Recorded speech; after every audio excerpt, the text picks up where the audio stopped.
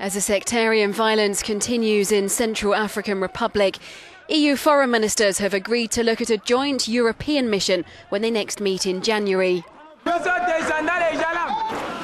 France has already sent around 600 troops. President Francois Hollande told a news conference on Friday that several European countries had offered help. There is a major point which has been obtained.